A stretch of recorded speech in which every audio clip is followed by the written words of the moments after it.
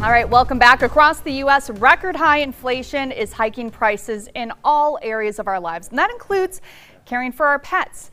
In times like these, expenses add up, but there are savings as well. So joining us today is Temma Martin with Best Friends Animal Society, and she joins us now to talk about just how important saving on pet care can be. But before we get started on that, we got to talk about that little guy there. Tell us a little bit about Blue, right?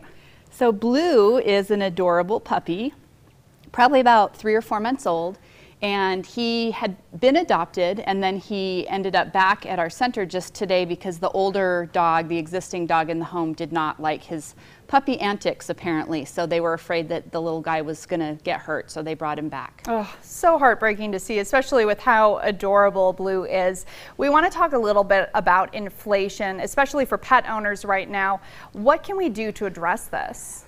Well, it turns out that pet food alone, um, a research firm did some uh, in, did a study and found that pet food has gone up 12% since 2020. So it is true everything is costing more, and uh, some pet owners who are looking at how to you know make ends meet and, and take care of their families and their pets unfortunately might have to consider giving pets up if they can't feed them. So we really wanted to talk about ways that people can save money on pet food. For, for example, you can sign up for auto ship programs, you can sign up for uh, text alerts and email alerts from different companies that can do um, you know, every time there's a sale or a discount, and take advantage of those. When there is a sale, stock up on the things that you need so that you have them ready and you don't have to pay full price for things.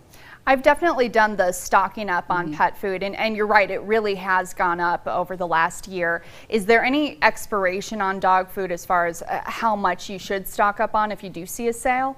Yeah, you know, they do have expiration dates on them, but in generally if the food is kept dry and and you know it, it can last for quite a while i mean i wouldn't buy a year's worth at a time but mm-hmm. definitely you know get a few bags at a time and know that by the time you run out of that there'll probably be another discount for you so just keep an eye on those and take advantage of them has anyone looked at switching up their brands? I mean, is that recommended or do you need to talk to a vet first if you find one that might fit your budget a little better?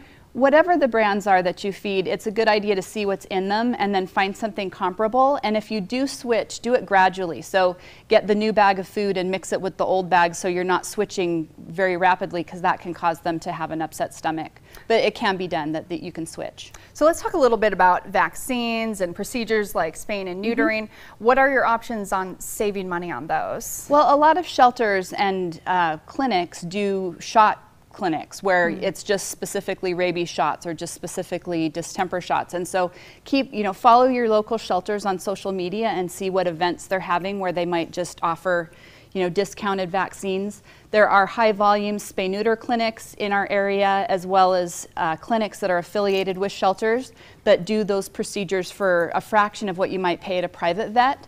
So again, follow on social media, see when they're doing discounts, and you know, call those those high volume clinics because that's all they do.